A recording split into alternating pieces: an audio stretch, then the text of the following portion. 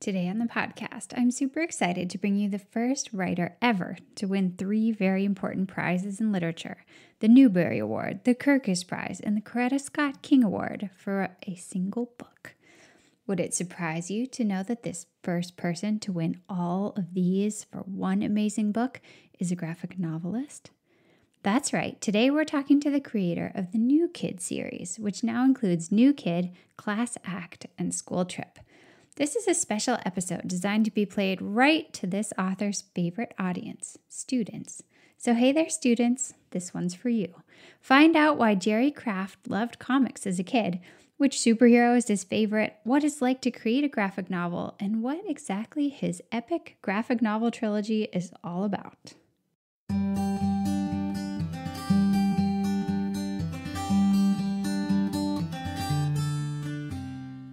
Well, welcome to the show, Jerry. I'm so honored that you're here. Oh, thank you. Thank you very much. So, today we've got an audience of students from all around the world. some of them probably already love comics and graphic novels, and some of them are maybe just discovering. So, I'm going to try to ask the kinds of questions that I think they would be interested in. Are you ready? Okay. I'm ready. okay, great. Well, let's start by going back a bit. And I want to ask you when you were a student, which comic did you love the most and why did you love it? You know, I bought anything with Spider Man. And uh, so he had his own comic, which was The Amazing Spider Man. He also had The Spectacular Spider Man. And then he had Marvel Team Up, where each issue he got to team up with another Marvel guy. So I was Spider Man, Spider Man, Spider Man. Oh, wow. And it was such a big series. You had so many options.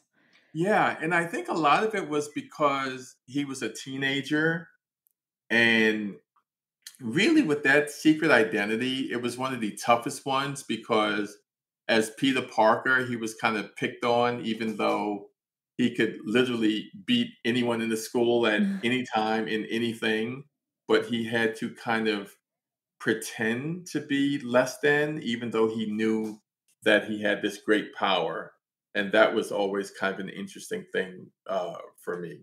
Yeah, that's interesting. It keeps him relatable in some way. Yeah, absolutely. And I didn't have any real books that I thought were relatable. Mm. And so Peter Parker was probably, in a lot of ways, the most relatable character that I had as a kid. Yeah, that's so interesting. How did you um, start to get into drawing comics yourself? You loved comics growing up. You obviously read a ton of them. Did you start right away as a young kid to be drawing your own characters? You know, I always knew that I liked to draw. And I remember going to the movies when I was a kid and drawing stick figure versions of the movies hmm. that I would see and send them to my brother who was stationed in Okinawa in the Marines. Oh, wow. And that was probably my first sequential art, you know, stuff in the sequence or fancy name for comic strips or comic books. Yeah. So, yeah, I think in a lot of ways that was my first.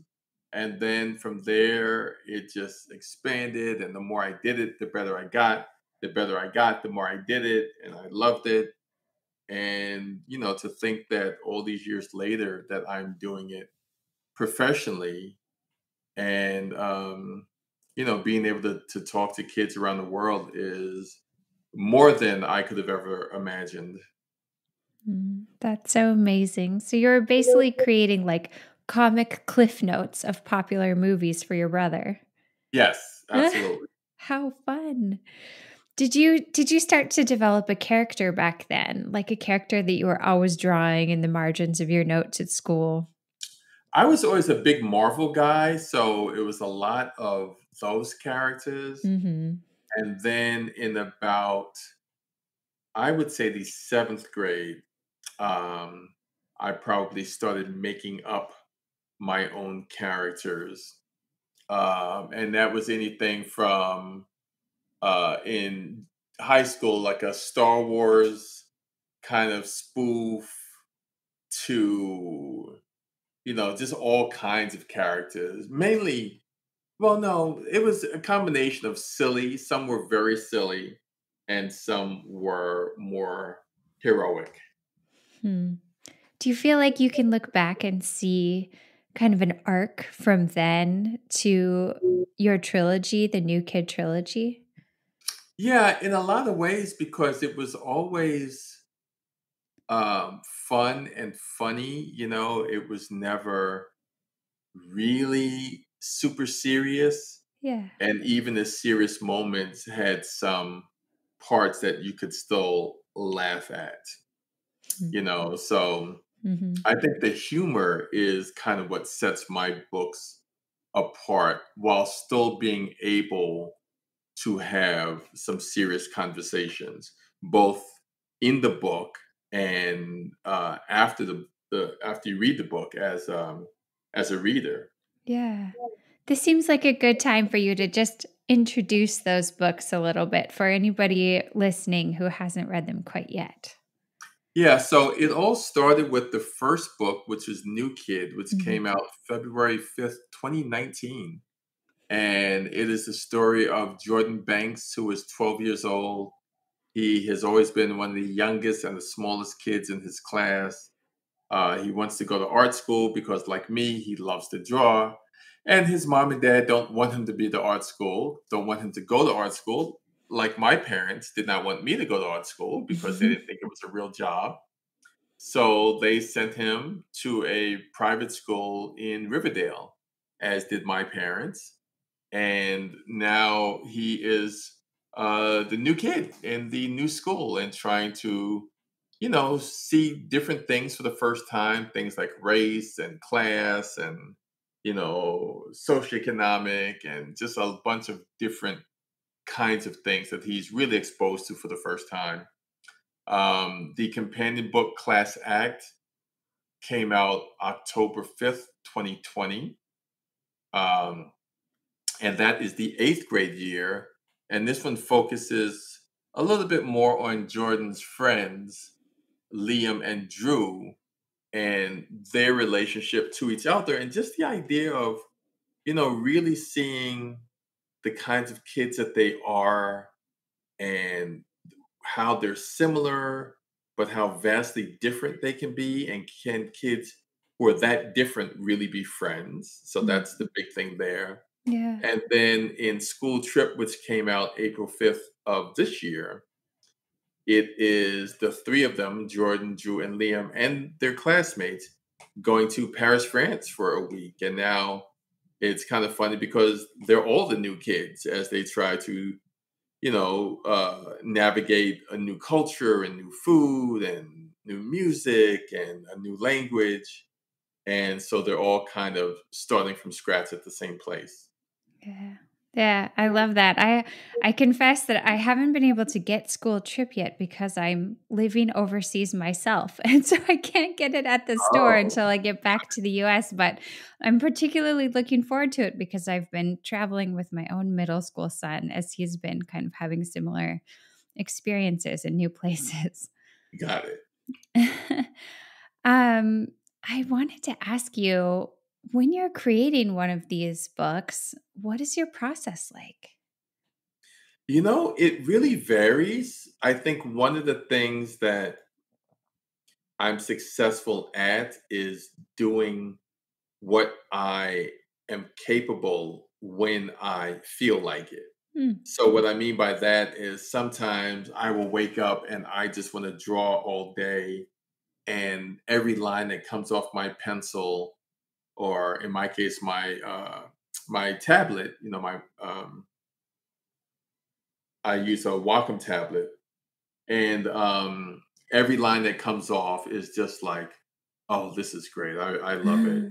And then there are days where it does not happen that way. It's like, oh, this I just do not have it today, you know. yeah. And um, those are days that I will do something else. I will do some research, or I will write more, or I will figure out how a character is dressed, or you know what their favorite food is. So I'm always doing something, but it's not always what I um, set out that day. You know, it's just like in in sports.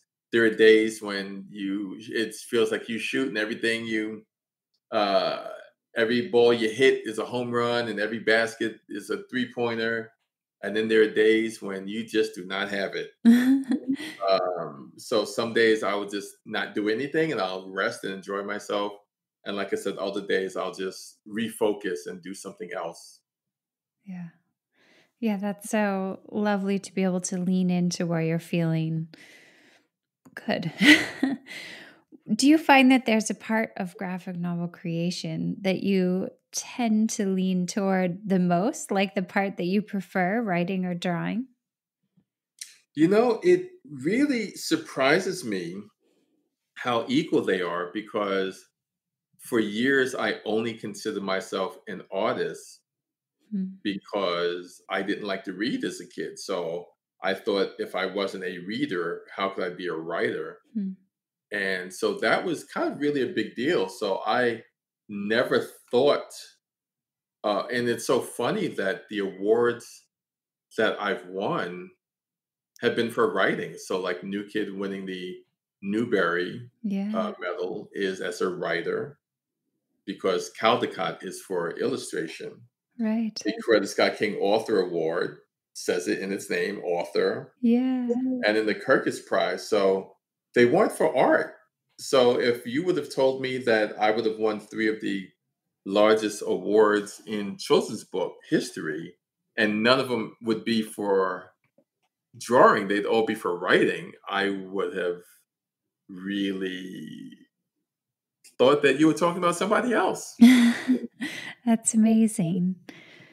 As you tell a story, like as you're sitting down to tell the story, do you find that you write out the plot first and then start to express its details in the drawing? Or does it just, do they just both come to you at the same time? Yeah, once again, it depends on my day and my mood. Um, with New Kid and Class Act, I kind of sketched them out and did like little thumbnail sketches um, to kind of write it that way. Yeah. Um, and draw it simultaneously. And then with School Trip, I feel like I had so many little things that I had to make sure that I answered because it, in theory, is the final of the New Kid saga, you know? Right, right. The third in the trilogy. Right. So I was like, well, I needed to really make sure that I was able to answer all the questions because the last thing that I would ever want is for a kid to come to me and go, well, what happened to so and so? You know, like I was really looking forward to that and you didn't answer it. And then I just have to be like, well, book know, four. Right, sorry about that. so with with um, school trip, I did not want that to happen. So I really made sure that I, in this case, wrote everything out as a script. And then went back and forth over and over again. And like, okay, now, did I wrap it up with this character? Okay, mm-hmm. what about Maury? What am I going to do with him? What am I going to do with Ramon? What am I going to do with this one? And then when I had it, I went and um, started sketching it. The only bad thing was that I didn't really know how many pages it was going to be that way. Mm. So I ended up maybe having to cut 20 pages because I went a little long because I'm supposed to come in around 250 pages hmm. you know, for each of the three books. And I think that one would have been about 270. Um, so I'm starting a brand new series now. And right now I'm also writing it out. Uh, but I think I will start to sketch it out soon just to see about how many pages I have yeah. so that I don't do the same thing and have to cut like 50 pages. Oh my gosh, that must be really tough. Yeah. Can you give us any hints about this new series, or is that totally top secret? That is totally, totally top secret. I figured, but I had to ask. But all new characters, all new setting. Um, you know, it's it's interesting because you know, I am looking at what uh and I don't want to turn on you and stick you, but I'll, I'll just say this rhetorically. yeah. Um like what do people think is a Jerry Craft book? You know, Ah. like I think it is middle grade. Yeah. It is pretty wholesome. Yes. Um, it's funny. There's Relatable. friends and family, and there may be some stuff that happens, but it's never going to be, you know, the the house burns down and Yeah. you know what I mean? it Like feels like real life for kids, you right, know? real Yeah. life, but not any of the things that will ruin a kid's day, you know, because I know, you know, these kids get into characters. Um, and again, I wish I did as a kid, but I just never saw that, you know. Yeah. And so watching my two sons, how much they were into what they saw with Percy Jackson or Greg Heffley or Mhm. Bud Not Buddy and, and really like, man, you know, and even when I was writing New Kid, there were things that I, when they sh- uh, saw the sketches, were like really upset with me, Oh no. you know, for like, why did you do that to Drew? Or why did you do this, Dad?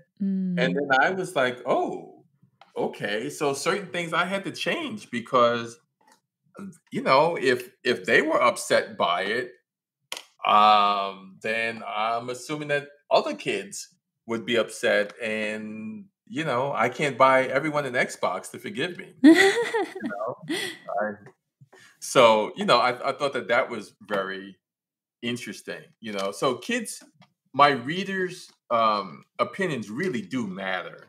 yeah. You know, and as I had done more and more school visits and had kids over the years come to me like, Mr. Craft, why isn't there a kid from India in your book? I'm like, oh, I don't know. I just I didn't think of it. Oh, what's your name? My name is Malika. Okay, well, I'll put a kid from India named Malika in the next book. You know what I mean? Yeah. It's just one of those things where um, kids just want to be seen. Yeah. And when I realized just what was on my shoulders, you know, of what kids expected from me, um, you know, there was a lot of, there was uh, just a lot to it, you know? Yes, a lot of pressure. Yeah, in the sense of just not wanting to ever um, disappoint my readers, Yeah. you know? Well, you're writing great books for them and you're not done. No, I'm not done by quite a long shot. Which brings me to my question.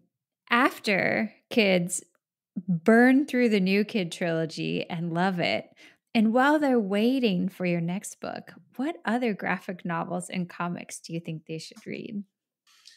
oh boy, there's so many good ones now. Um, so you know, obviously Raina Telgemeier is at the Mhm. top of her game. She, She's you know, I owe so much to her for making um, just the, the whole graphic novel, um, middle grade graphic novel um, format. You know, just taking it to the next level Yeah. the way that she did. Um, for a little bit more mature kids, Jarrett Krosoczka, Hey Kiddo and Sunshine, they're really great. hmm Uh, Dan Santat's, um, uh, he has a, a his new graphic novel is also about kids going to um, Europe. Oh, wow. Yeah, which is pretty cool. and um, I think First Time for Everything is called. Uh, Maria Scrivan uh, has a, a, a, great series, um, and um, my friend Terri Libenson uh, has a great series. It's like Tyler and like it's, it's got all these names. I keep saying where when is just Jerry coming out? Originally it was you know Invisible Emmie. Um, so you know there's just so much Leon, the Invincible by Jamar Nicholas, Swim Team. Yes. Um, yeah, it's just a really good time now. I think to be a kid reader, you know, and then of course the Amulet series uh, by Kazu Kibuishi and you know the stuff that Gene Yang does. Um, so yeah, it's just it's just a really good time with a lot to recommend. Picture book wise, Eric Velasquez. My favorite book of his is called Octopus Stew.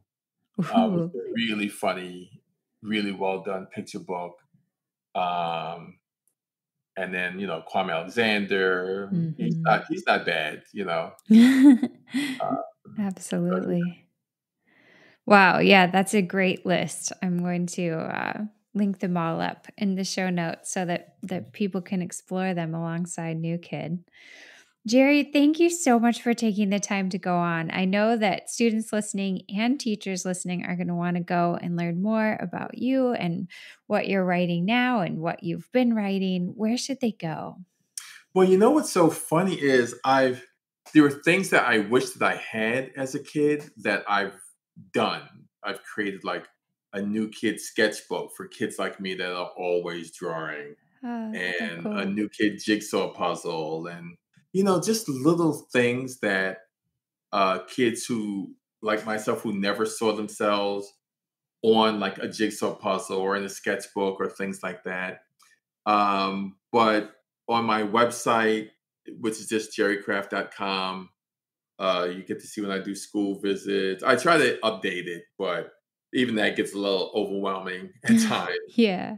You know, um, and then throughout social media, you know, I, I post when I do school visits and things like that. So, you know, I try to interact with my fans as much as humanly possible. Yeah, that's amazing. Well, thank you again so much. Thanks so much for joining us today. To learn more about Jerry Craft and his books, check out his website, look up one of the books at your library, or watch the trailers linked by QR on the sketch notes sheet your teacher hopefully grabbed from today's show notes. Then maybe you'll want to go start creating characters of your own and telling the stories you wish were out there in the world, like Jerry does.